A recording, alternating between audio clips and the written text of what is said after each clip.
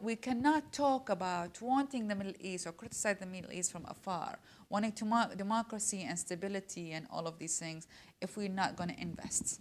And, and, and I am talking about very practical way. There needs to be an investment in all the moderate voices, and women are the most moderate voices. Women are actually the only hope in the Middle East, and I have a complete faith that the only way out of this crisis in the Middle East is to invest in women and empower women. But when we look at the investment in women vis-a-vis or the moderate voices vis-a-vis the investment the Islamist uh, regimes, I guess, uh, are getting is minuscule. You know, they, we're talking about the differences of millions of dollars that are consistently being poured to fundamentalist uh, groups, mm-hmm.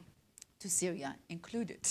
You know, as opposed to much more mediocre support to the modernists and to women's issues. So that's one thing. So money is an important factor in this dynamic. The second one is we cannot, and this is something that I was really caught up a few years ago in Sudan when I was visiting Sudan and met with government officials and I was like, where are the women? You've got to invest in women, da, da, da. and the, the official just like, just stop it here, just stop it. Unless you guys, unless the US delegations and the UN delegations and the European delegations also come with 50% of their delegation are women, do not lecture us about what we need to do because you guys are not doing that. And so, very good point.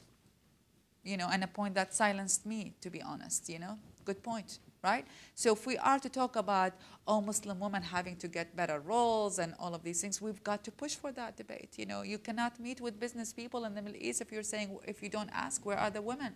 You cannot make investment if you don't ask where the, that push makes a difference in there.